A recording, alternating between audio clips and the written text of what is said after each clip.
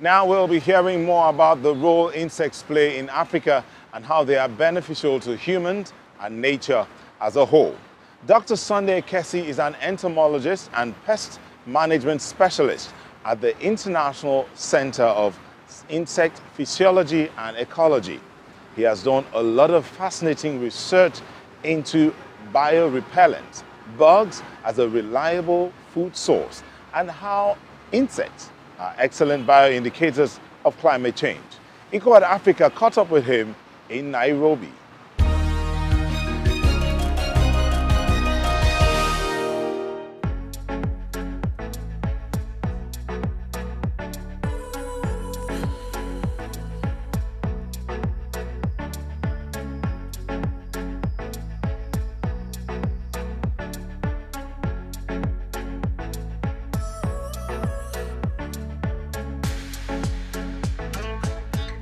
One of the critical roles that they play in the ecosystem is pollination. Uh, about 85% of our crops are uh, pollinated by various kinds of insects. And without pollination, uh, food security is in danger. So insect is very, very important uh, in, within that context.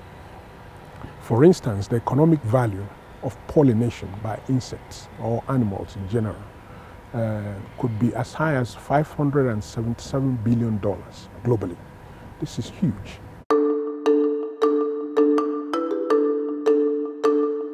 We fight bite insects with diseases because insects are also attacked by diseases. Uh, could be fungus, could be bacteria, could be protozoans.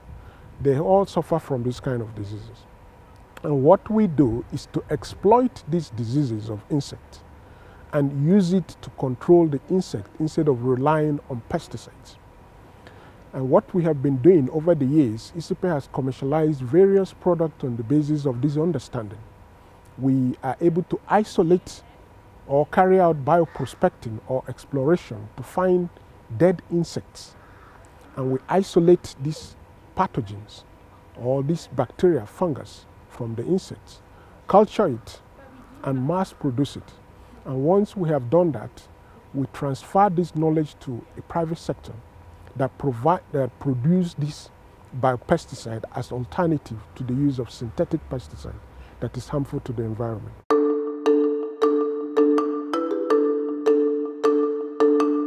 The utilization of insect for food and feed has really taken Africa by storm because uh, Initially, the knowledge was little known, but immediately we went into this program and began to let people know of the value of insects in terms of consumption and for feed. We discovered that there are over 500 different kinds of insects that are eaten across Africa. So we began to work with the policymakers to ensure that standards are developed. And as we speak now, we have the first standard for feed and for food in Kenya and in uh, Uganda. So we need to see more of this across Africa. And the Kenyan example has opened the door for several other African countries to begin to embrace the need to have standards to ensure that these products are available all across the place.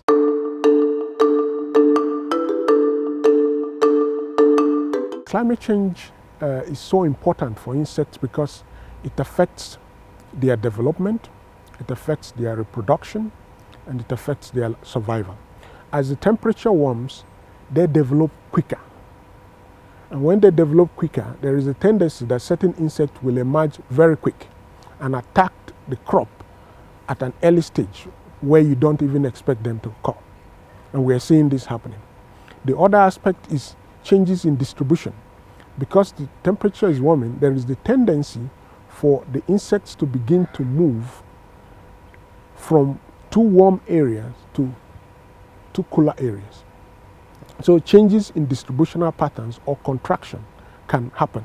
Climate change has all kinds of impact on insects, and insects are really good indicators for monitoring this. In addition to pollinating fruits and flowers and vegetables, insects give us many other things we would probably not want to do without. Honey, beeswax, silk, and these are just a few examples as we heard from Dr. Ekesi, there are many predatory or parasitic insects that prey on plants or animals, so they can play an important role in pest control. Gardeners love ladybugs because they devour aphids. Peter Katz and his staff breed the colorful beetles and send their eggs to mainly private customers. His company has been in the business for over 20 years. Not all their beneficial bugs are suitable for use outdoors, though. If you capture grown ladybugs and want to use them somewhere, there's always the possibility that they will fly away. So if you deploy ladybugs, then only in enclosed spaces. Minute predatory mites, on the other hand, tend to stay put. Here they've made themselves comfortably at home on some bean plants. The staff then harvest them along with the leaves they're attached to. The predatory mites have already decimated an entire colony of spider mites here and bred prolifically in the process. Just a few leaves are enough to provide a customer with more than a thousand of the useful predators. Natural pest control works particularly well if you use beneficial insects at the first signs of infestation. You have to look at it mathematically. If you have 100 million pests, you need 100,000 beneficial insects to fight them. That's an enormous number. If you only have 1,000 pests, you only need 20 beneficial insects. So you have to identify the infestation at an early stage and deploy beneficial insects straight away. The tiny parasitoid wasp, Encarsia formosa, is also bred by Katz Biotech. Here on these tobacco plants, it's helping to tackle a species commonly known as greenhouse whitefly, a big threat to commercial crops worldwide. The little black insects have specialized in whiteflies. Next door, where they had a plentiful supply, the wasps have multiplied. They lay eggs and the living larva of greenhouse whitefly, which eventually kills them. Business is booming. The company sends insects to fight plant pests to customers across Europe. Transport has to be speedy since both insects and their eggs can perish along the way. Katz has also visited greenhouses in Ethiopia, where plant breeders work with beneficial bugs. But he says in conventional outdoor farming in Africa, it's not really advisable. In Europe, we have the advantage of having cold winters.